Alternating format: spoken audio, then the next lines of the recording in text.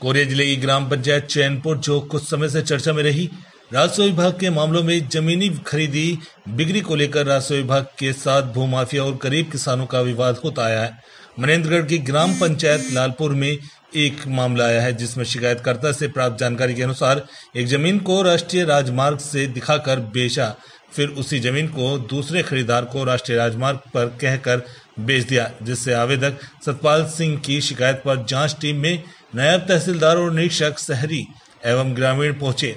स्थल जहाँ ग्रामीणों से मिलकर जानकारी ली और ज़मीन नाप कर जाँच की और बताया कि उच्च अधिकारियों को जानकारी दी जाएगी।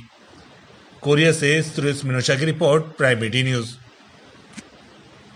स्पॉट है। उसमें अपनी संतुष्टि के लिए हम लोग उसका वेरिफिकेशन करना चाहते हैं। मतलब कहा जाए तो बेसिक जाँच है अभी कोई तथ्यपूर्ण जाँच नहीं रहेगी। नहीं नहीं तथ्य वाह जाँच में तथ्य कैसे नहीं आएगा?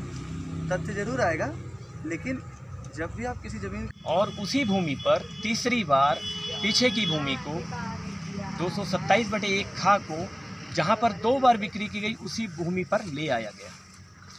तो शिकायत का मुख्य बिंदु से हटकर जाँच करना एक संदेह का घेरा उत्पन्न होता है। राजस्व अधिकारियों के द्वारा संदेह के घेरे में आते हैं कि वो शिकायत के बिंदु से हटकर जाँच करना चाहते हैं। मुझे नोटिस नहीं दिया गया। ताकि मैं यहाँ तथ्यों का खुलासा ना कर सकूँ कि यहाँ पर भूमाफियाओं के द्वारा क्या क्या हो रहा है। इसके अतिरिक्त नोटिस तामीली एक दिन पहले की गई।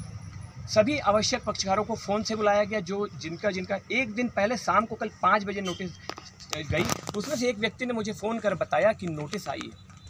तब मैं आनंद फानन में इसकी शिकायत कि मुझे पक्षकार नहीं बनाया गया, मैं कलेक्टर महोदय से नहीं कर सका। आज मुझे आज मौका जाँच में खड़ा होना पड़ा।